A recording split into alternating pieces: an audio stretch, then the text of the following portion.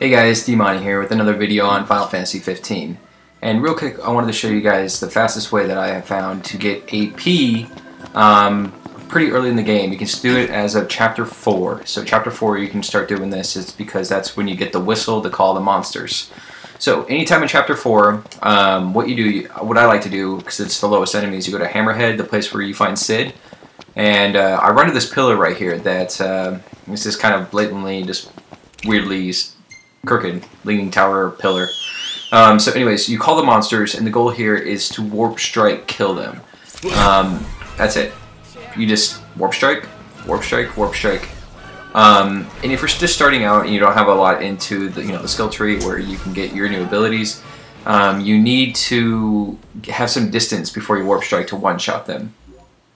Um, another thing I like to mention is if you go in with all your characters' gear off, it, they're less likely to kill the enemies that you're trying to kill. So go through, equip everybody with level 1 weapons, uh, so that way they don't kill your monsters.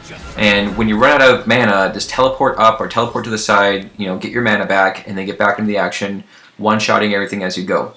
Um, another thing I like to mention, in the skill tree, it is pretty if you're going to be doing this a lot, it's pretty imperative that you get the, the skill that allows Noctis to critical strike on a, um, a close range attack. That way, you know, if, if you're low level, it sometimes will take two warp strikes to kill these guys. But if you have that ability, um, you'll be one-shotting them no problem. In this video, I didn't have that ability, and since then I've such I've approved on it.